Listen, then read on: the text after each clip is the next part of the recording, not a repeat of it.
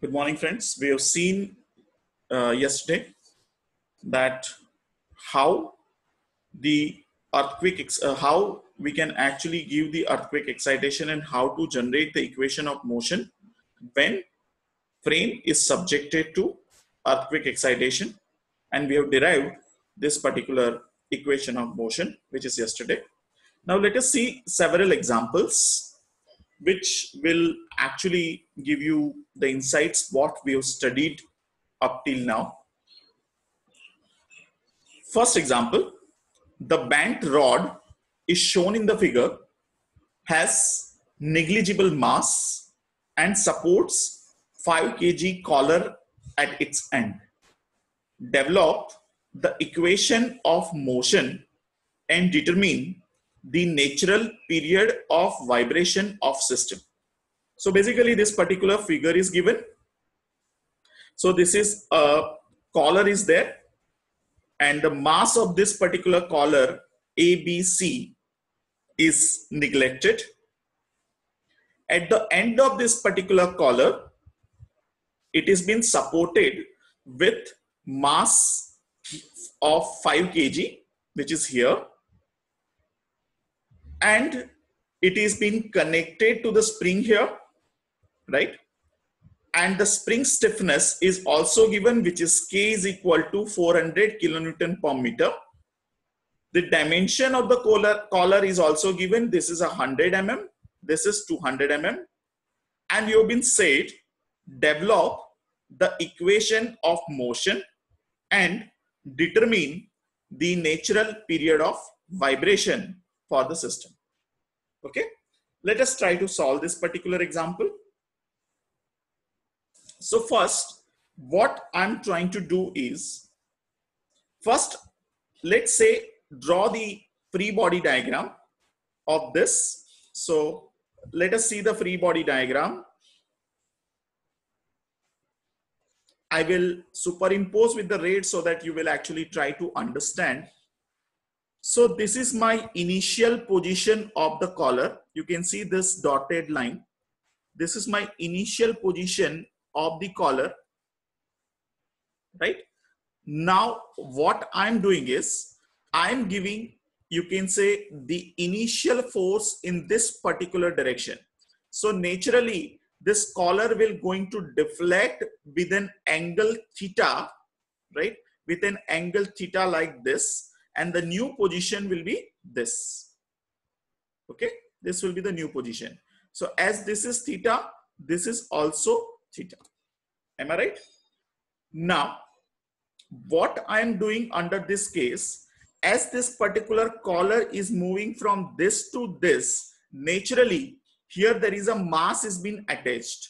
And so that the inertia force which will be acting opposite direction to the movement of the mass. So the Fi which will be acting, which is opposite direction because here the mass is connected. So uh, Fi is nothing but m into double derivative of displacement. And since there's a mass has been attached here of 5 kg, so the Fi will be acting at this direction, which is opposite to the mass moment. Since the mass is moving in this direction, your Fi is moving to the opposite direction. Same way, here there is a spring is being connected. So as this is moving in this direction, it tries to compress the spring. So the spring is also going to give a force which is opposite direction to the uh, this. So this is Fs will comes into the picture. So this is Fs will act going to act in this directions, right? So basically here there will be a two forces. One is Fs and Fi I need to calculate to uh, find out the equation of motion. Let us find out these two forces. So first, let us try to find out the force Fi. As per definition, Fi is nothing but m into double derivative of double derivative of displacement. Am I right? So here in this case, what is the displacement of the mass? The displacement of the mass is this much and this value will be how much which is 0.2 theta right so this value will be 0.2 theta so this mass will going to displace with the displacement of 0.2 theta. So here if I see mass is 5 multiplied by the displacement which is 0.2 into theta. But since there is a double derivative, I am putting the double dot over here. So my Fi value will be 5 into 0.2 into theta double dot.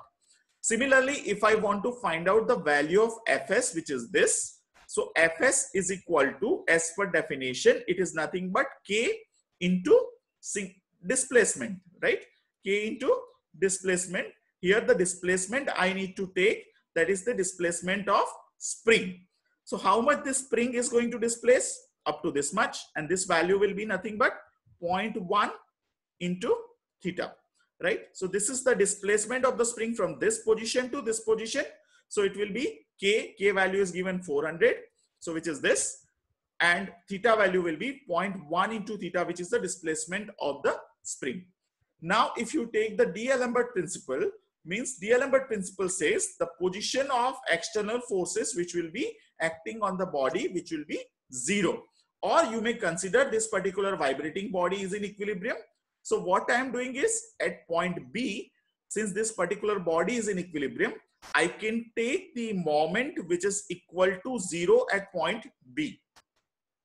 So if I take the moment at point B at point, since this is a hinge is there, so there will be a two reactions. One is By and Bx. You can assume its direction in any direction. And from here, I'm taking the moment. So first force is Fi fi into perpendicular distance which is 0.2 here right and which moves in a clockwise direction. So i am taking here fi which is force into perpendicular distance from point b plus fs into perpendicular distance from point b which is 0.1 so fs into 0.1 which is equals to 0 now put the value of fi and fs from here right so this value will be 5 into 0.2 square because 0.2 is already here and 0.2, one more 0.2 will come. So 0.2 square into theta double dot plus 400 into 0.1 theta. Another 0.1 is there. So 0.1 square into theta is equal to 0. Now, if you compare this equation with the general governing equation of motion, I'm writing that equation in terms of this like I am putting m star, which is this, into theta double dot plus k star, which is this, right, into theta is equal to 0. Can you see that this is the form of a governing equation? So from this, I can actually calculate what is the value of m star. m star is nothing but 5 into 0.2 square. k star is nothing but 0.4 into 1. Your first answer is this, that, that is you have been said, find out the governing equation of motion, which is in this form. So first answer will be this, as per the example. You can see this, develop governing equation of motion. So that is the governing equation of motion. That is first answer. Now we are moving to determine natural period of vibration of the system. Now from the governing equation, you can assume that, you can see that here the P of T is equal to zero. It means it is the free vibration case. Am I right? So this is my free vibration case. And since you can see the damping value is also not there, so it is an undamped free vibration case. I'm, I'm right. So this is my undamped free vibration case formula is there. So in this case, Suppose I want to find out value of n star and k star. I can easily find out n star and the k star value. Uh, so the W is equal to, I can say this particular formula k star upon m star. So this value will be, uh, if you put those values, then this value will be coming 4.472 radian per second. And if you can find out the time period, this formula is nothing but 2 pi by omega, which is the, you can put this value to pi by 4.472, then you will get this particular answer. So this way, you can solve this particular example. I hope it is very much clear. Now, let us move to, if you have any question, please raise it in the chat box. I will try to answer it uh, as far as possible. Okay, let me take a few questions.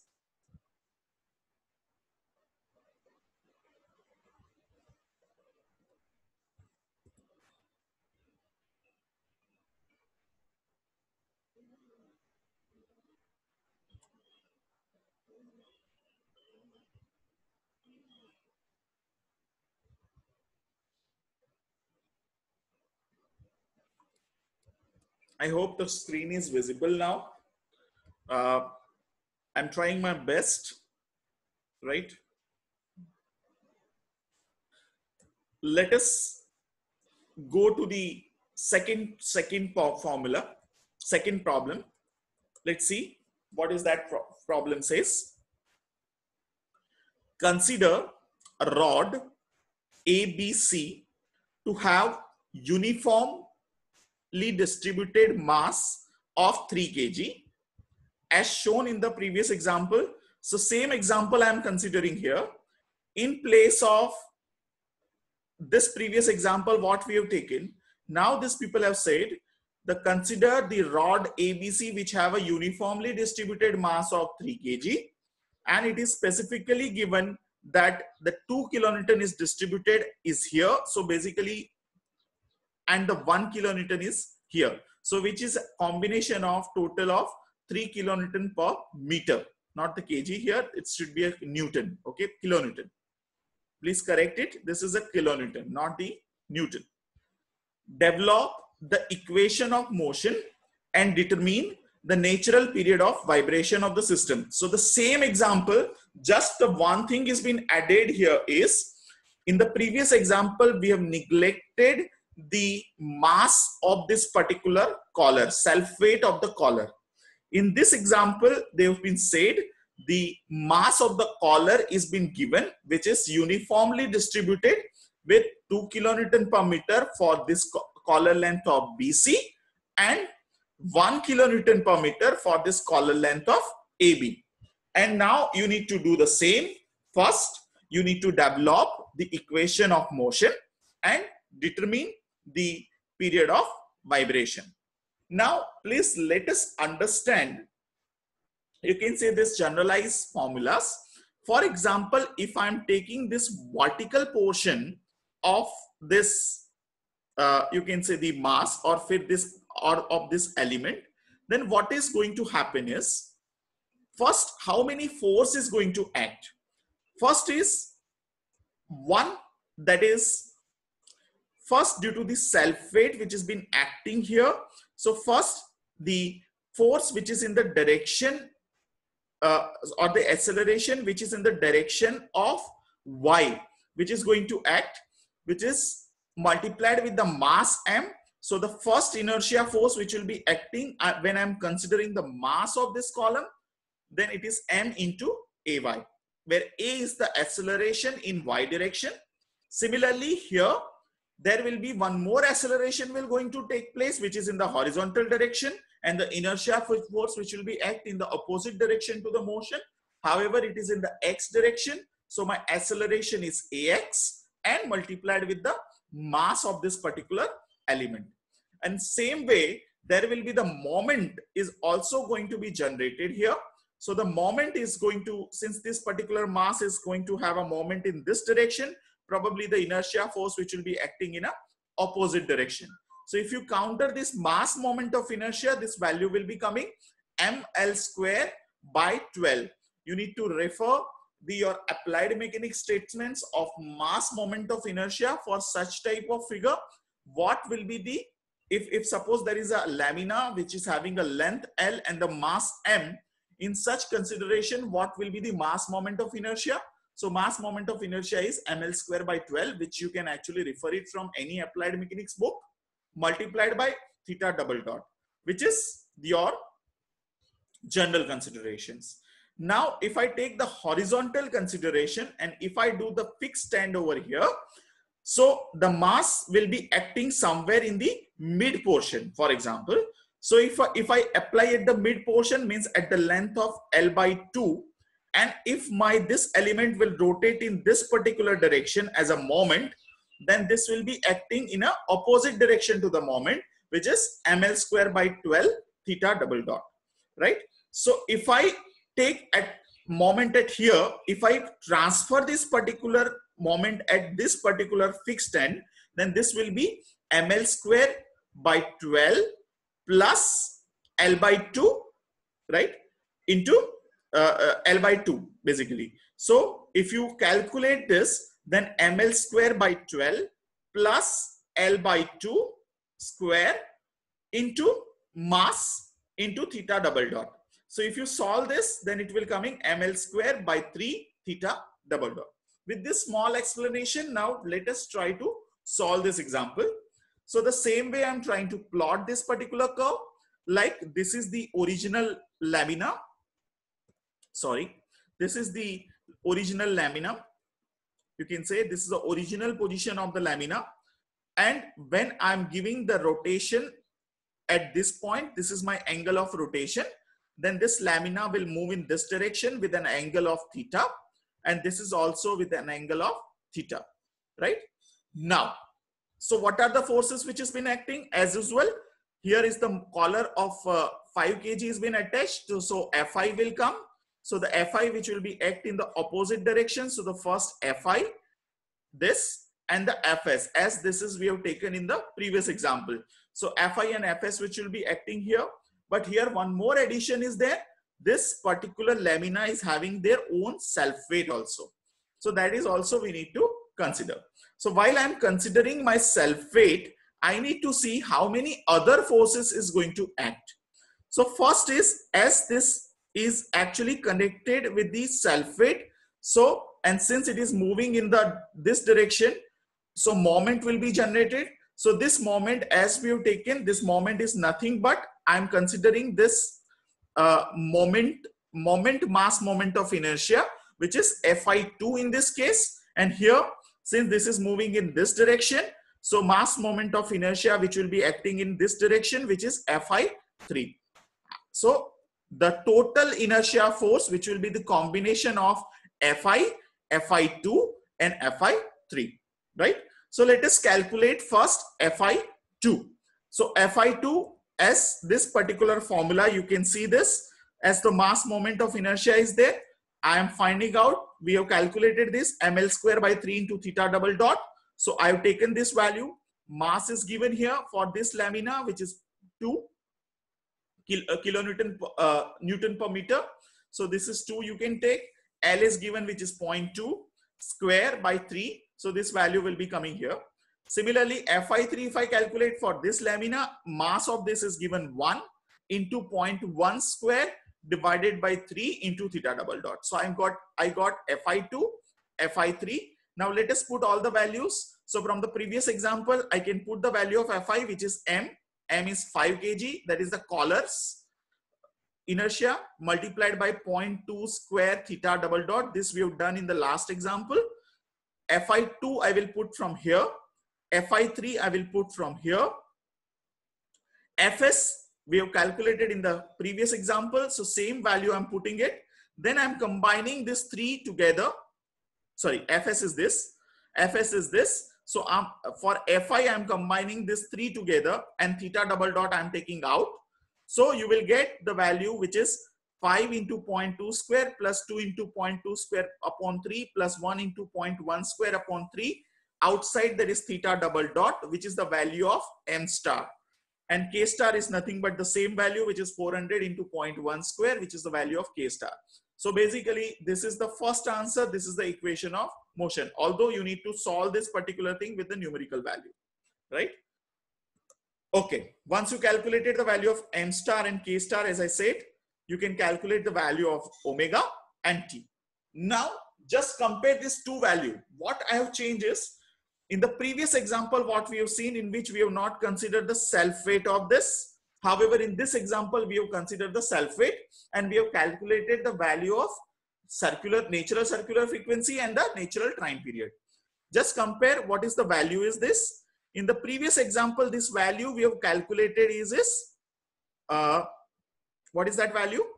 4.472. While in this example, this value is coming 4.17 means the omega value is been decreasing. Why it is happening? Because is the formula if you see it is k star upon m star and here what we are increasing is value of m. Since the self weight of the lamina has been increasing, the value of m is been increasing in this example so that my value of natural frequency is been reduced. Similarly, if you see the time period, so the time period in the previous example, which is coming around 1.405 seconds, while in this example, it is coming 1.5. It means it is increasing in this. Why? Because this will be coming in the 2 pi by omega, which is in the, uh, you can say the downward side. And since it is downward side, naturally, you can say this value should be increasing. So the same thing I'm written here. If we compare the results of natural frequency in both the problems, the natural frequency is reduced to 4.4722 in the previous problem to 4.17 radian per second in this problem. Mainly is due to the increase in the mass. Also, the natural time period is on, also increased from 1.5 seconds in this problem to the 1.405 in the previous problem because of the expression in which the omega is in the denominator side, right? So this way you can solve this particular example.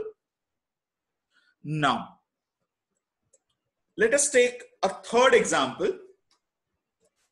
Uh, I think we will discuss this particular third example in the next lecture because the time is very, very limited.